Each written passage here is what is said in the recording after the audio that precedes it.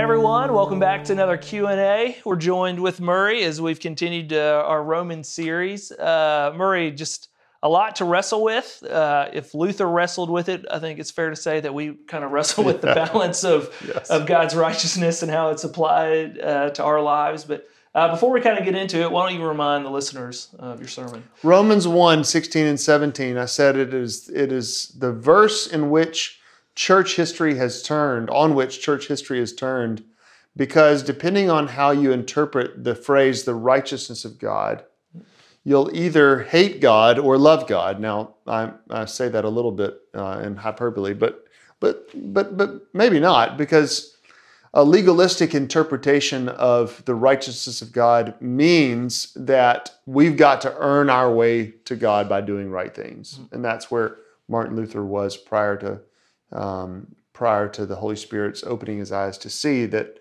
what is meant primarily in the verse, the righteousness of God, is the righteousness by which uh, God gives to his people.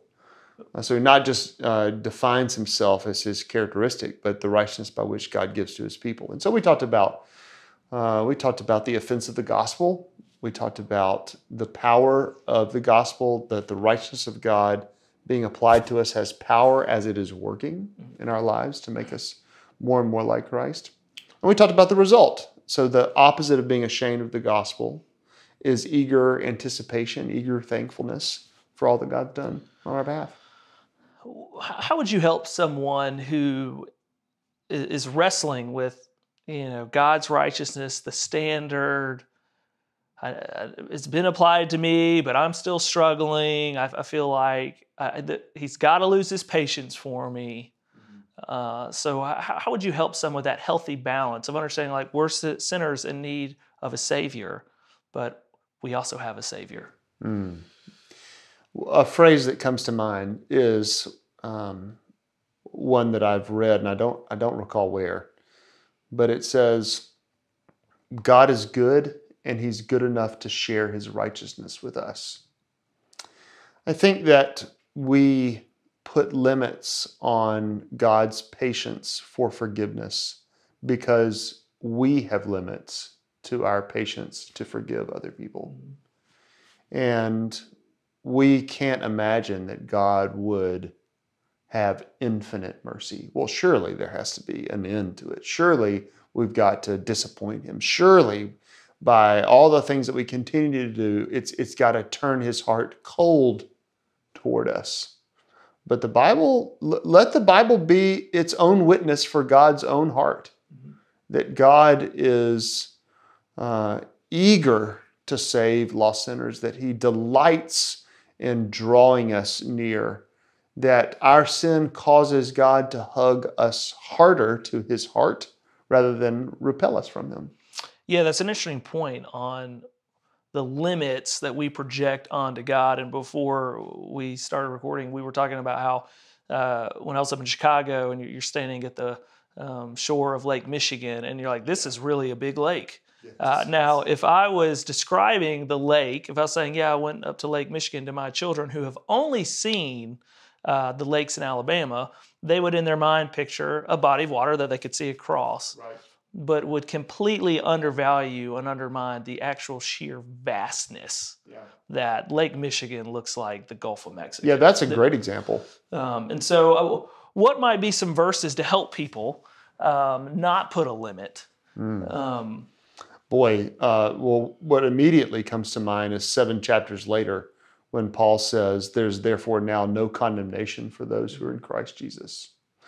Um, you think about, I mean, we've been talking about Dane Ortlund's book, Gentle and Lowly, uh, where Jesus describes his own heart towards wayward sinners when he says, Come to me, all who are weary and heavy laden, and I will give you rest for your souls. For I'm gentle and lowly in heart. And the, the understanding and application of what it means for God's heart to be drawn towards, towards his people.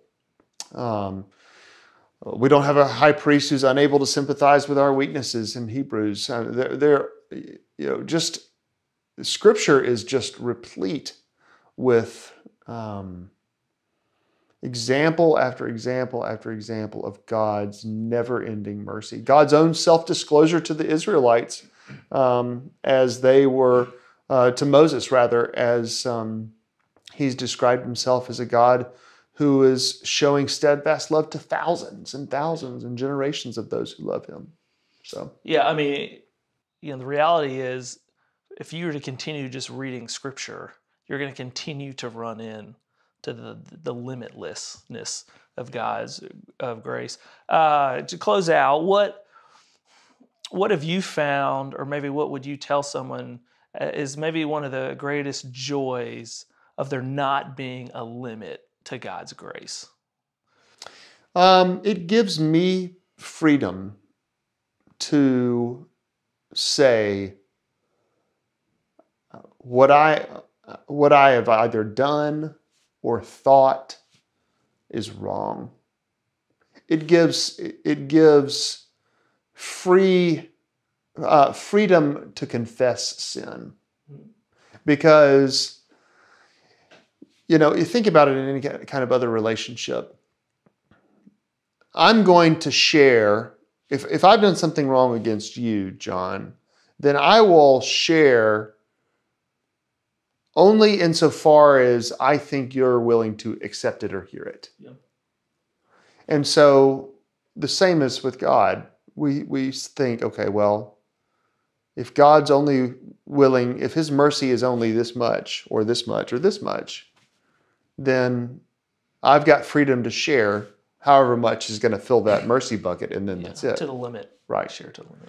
But um, as as great as Lake Michigan is, God's mercy is even more, and it, it gives it gives freedom for confession, knowing that God is uh, merciful and just to forgive us our sins and cleanse us from all unrighteousness. Well, I just got encouraged. Oh, so good. Maybe you will too. Uh, yeah, absolutely. Uh, as always, thank you for listening. Uh, we would love to hear from you if you have any questions that maybe you heard from a sermon uh, or just a topic in general. Uh, but thank you. Uh, thank you for listening.